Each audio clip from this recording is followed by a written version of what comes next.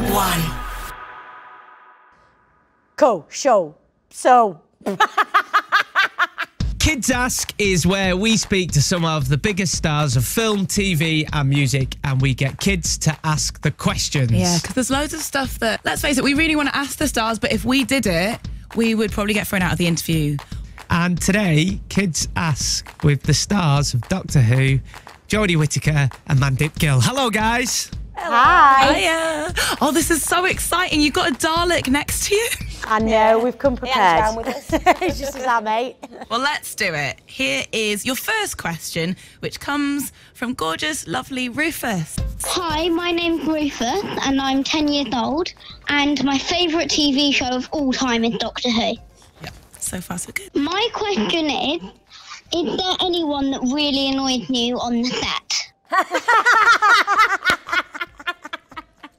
Come on. No, Come on. no. We do love everyone, but there's things that like I can't cope with people in my eye line. Oh, I should have answered that. I can't cope with it. The person who's always responsible, who always gets shouted at, is Robbo the Grip, because he's usually right there, and he's he's got a bald head, and he sometimes has a little scratch, or he like pulls his glasses back up, or he's adjusted his mask, and I'm like, Robbo, Robbo, you're in my eye line. so that that is my thing. Do you know what's perfect? That's a perfect answer because the person that annoys me is Jodie when she shouts at Robert. We've got a thing going on, going, why do you keep shouting at him? And, and when Jodie's not in, I'm like, oh, it's going to be a nice day today. And he's like, no one's going to shout at us, Robert. We're good. Great start. I mean, that was a strong start. That's great. Shall we move on to Elizabeth now? Hey, I'm Elizabeth. I'm 11 years old, and I love Doctor Who. Okay, my question is Jodie, why are you leaving Doctor Who? Oh, I don't know why. when I first signed up, I signed up to do three seasons. And I can tell you now, Elizabeth, there was a many a day where I had a wobble and I felt that I've made a terrible mistake. But, and then at any point, I could have actually probably changed. But once we started to shoot the final series, I think that's when my biggest wobble happened and I thought, what the heck am I doing leaving the best job I've ever done? But you know what? It's the best job because it's happened at this moment and no one can ever take these memories away and hopefully I'm still going to be living my best life in a few years to come. But I just felt that this show deserves new energy. And but I think I don't know if I'm happy with my decision even now. I'm still upset about it. You won't have Robbo in your eye line anymore. I won't. Mandip, are you gonna are you gonna miss Jodie on No. set? You've never been shouted at for being in your eye line. Okay, let's now move on to Max. Hi, my name is Max. I am 11 years old and I love coding and absolutely adore Doctor Who. Have you made any funny bloopers on the set? And if so, what is your favourite one? Great question. This is loads. What's your favourite though? All right, go. I've got No, loads. you go, you No, go, wait, you go 'cause I first. don't I know got that. Saying. Okay, you go. Has this ever been said to you before? But you remind me of the two sisters from Gogglebox. Are they really, really beautiful? They're beautiful, they're funny, and they're from Leeds. And you two just talking to each other now remind me of the two. And it's a compliment. so I, I have got a terrible potty mouth, and I sit on the naughty step a lot because I am appalling. So there's quite a few things that need to be edited when I mess up, and I say things that cannot be repeated. All right, we've got a question. This is a big one actually from um, from William. Hi, my name's William. I am 12, and a fact about myself is that I can name all of the actors for the Doctors off by heart. My question is if you could act in any Christmas movie, what would it be and why? Ooh, it's a nice one. Jodie, you've got your hand up. You go first. So it's not technically a Christmas film. Well- it's just, oh, what? That's naughty because he asked you for a Christmas film. But Well, I'll give two answers then. right. Right. It's not technically a Christmas film, but it's always on at Christmas. Go on.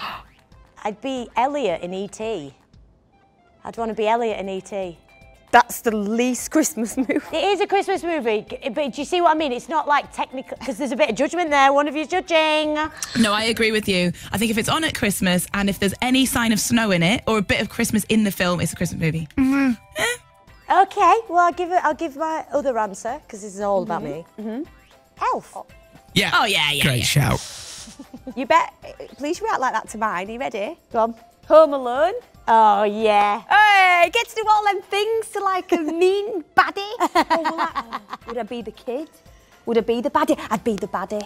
William actually has has more to ask, and um, he goes even bigger. Okay, my question is who is going to be the next doctor and do you have the power to choose? Oh. We, we don't know. We're not in the inner circle. If you had the power to choose. okay, we, d- we genuinely don't know, but if we had the power to choose, you would pick. I'm going to choose Whoopi Goldberg because Whoopi Goldberg has expressed interest. And so she's up for it. I'm up for her being it. I think she'd make an amazing doctor. I'm going to pick an actress who I think is really exciting and I think would be phenomenal is Lydia West. Oh, I'm obsessed with her from It's a Sin. yes. yes. And years and years. Jill, Jill. And everyone needs to be more Jill. Yes. Oh, you know what? That is a brilliant idea. Next up is Rafferty. Hi, oh, I'm Rafferty and I'm into cycling and football and I'm eight. Who has been the worst doctor so far? and you have to answer it. Rafferty has asked the question. I'm going to go first, Jodie. because if you stand in her eye line, you get told off. Yeah. now you have to answer. No. You have to. Absolutely not. As the doctor, they're all versions of me. I will not be seen to criticise myself, darling. Absolutely not. So we've got one. We've got another one from Rufus. Oh, okay. He's back. Rufus is back with another question. Um, my question is Have you ever stolen anything from the set? Yes. oh yeah. On the the last day of filming, someone sort of said, you know, we've finished in the TARDIS. I mean, they hadn't even finished their sentence, and we, We were ran pulling riot. bits off of the set. Or there were bits that were stuck in the TARDIS. I was like, no, Judd's they're glued in. We can't get him. She was like, I'm going to help you get it out. Pulling I snapped some off, put it in my pocket, and then someone said, "Wait, we're doing, we're doing pickups, we're doing pickups." But we weren't in those scenes. We were like, "We thought we'd wrapped." No, you've wrapped. Okay, uh, my question for Jodie Whittaker is can you speak Judoon? Because one of my favourite moments in Doctor Who is when David Tennant speaks Judoon. I might be saying the wrong words, and you'll know better than me. Go, so, show. yeah. Did I do it? Did I do it? I don't know what she just did. I think I did it. What's the translation? Hi, I love you. All right. is it? Did you just say is it? No. no, babe. Can we just have that again one more time, Yeah, please, yeah. Jodie? That was priceless. Go, show, so. Uh, guys, thanks so much for doing Kids Ask today. How, how was it? How did you find it?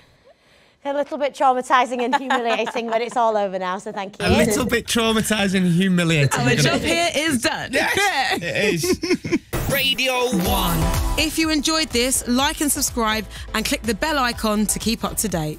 Watch more great Radio 1 videos by following the links on screen now. For more great audio and video from the BBC, listen on Sounds, watch on iPlayer.